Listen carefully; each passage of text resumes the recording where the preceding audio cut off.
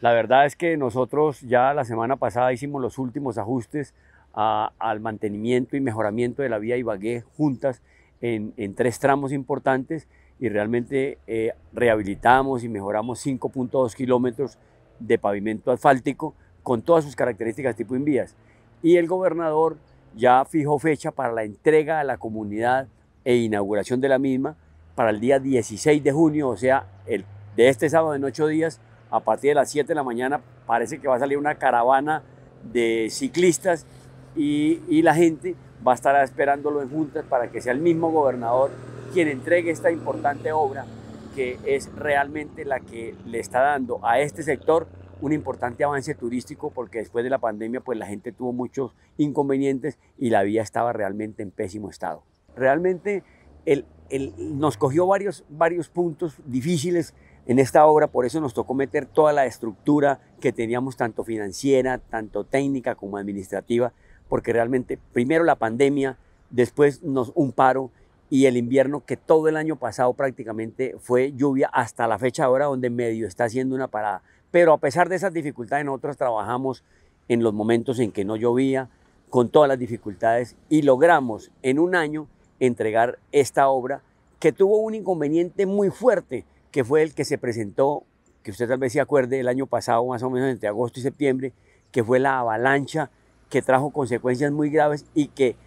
acabó con la vía antes de llegar a Juntas. Cuando fuimos a hacer, digamos, el inventario general y la localización de la obra, nos dimos cuenta que, por ejemplo, en La Vega faltaba el alcantarillado de La Vega y no era bueno ni importante construir el pavimento sin haber hecho ese alcantarillado. Nos dimos cuenta que faltaban las entradas a todas las casas y los andenes en muchas partes. Lo mismo en, en la parte de la invasión en Puerto Perú, también hicimos el mismo ajuste urbanístico y también lo hicimos en la parte del corregimiento de juntas, donde realmente no habían andenes, no había espacio para los discapacitados, no habían rampas, no había ningún tipo de esos. Entonces logramos más bien llevar un, un, arquitecto y hacer una intervención arquitectónica para que este corregimiento, que es visitado mucho por turistas, lograra tener lo que hoy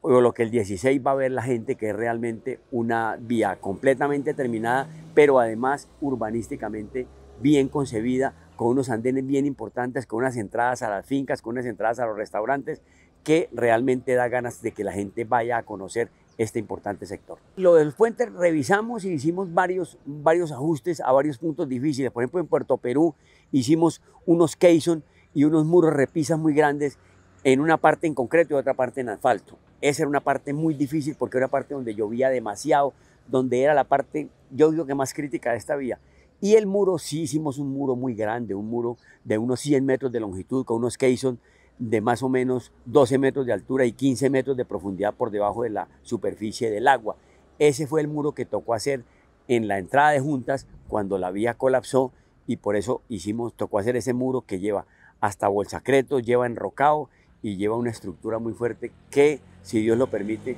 no va a volver a, tener problemas a pesar de que se presente cualquier avalancha. Lo que hicimos, lo hicimos realmente pensando en la comunidad, cumpliendo los parámetros de IMBRIAS, cumpliendo los parámetros de, los pliegos tipos, porque tuvimos, digamos, una interventoría justa, una interventoría que estuvo presente en todo, tuvimos la supervisión de la Secretaría de Infraestructura, eh, la, la, secretaria de Infraestructura, la doctora Paola Muñoz, estuvo pendiente de la obra permanentemente en él, y la visita del gobernador casi cada ocho días que nos visitaba para ir a mirar el avance de la obra. Esto es muy importante porque a pesar de eso y a pesar de que tuvimos una veeduría muy importante eh, con la cabeza del presidente de la veeduría que era el guardián mayor, que qué más que él, que es el que está verificando todas las cosas y estuvo pendiente de eso, entonces tuvimos una, una, una con la comunidad, tuvimos una interacción con ellos que, son los más perjudicados en una de las obras. Entonces ellos nos, nos comentaban ciertas cosas que había que mejorar y nosotros a medida que íbamos avanzando pues tratábamos de mejorar lo que más pudiéramos de la obra para poder decir que hoy entregamos una obra realmente que va a durar en el tiempo.